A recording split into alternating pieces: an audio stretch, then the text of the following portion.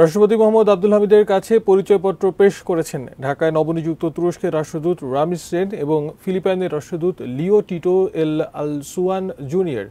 মঙ্গলবার সন্ধ্যায় বঙ্গভবনে তাদের স্বাগত জানান রাষ্ট্রপতি। এ সময় তিনি এই দুই দেশের সঙ্গে বাংলাদেশের বন্ধুত্বপূর্ণ সম্পর্কের উল্লেখ করে তাদের সঙ্গে বাণিজ্যিক এবং অর্থনৈতিক সম্পর্ক বাড়াতে ভূমিকা পালন করার অনুরোধ জানান।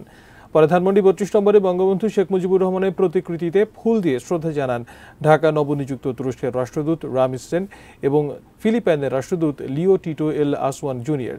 বত্রিশ নম্বরে এই দুই রাষ্ট্রদূতকে স্বাগত জানান বঙ্গবন্ধু স্মৃতি জাদুঘরের ট্রাস্টি এন আই খান। সপরিবারে বঙ্গবন্ধু স্মৃতিধন্য বাড়িটি ঘুরেও দেখেন দুই দেশের রাষ্ট্রদূত।